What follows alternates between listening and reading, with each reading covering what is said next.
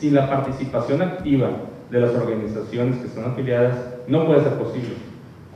Si algo hace bien el sector social, sabemos perfectamente que es la gestión, tocar puertas, gastarse la suela, insistir, platicar y convencer.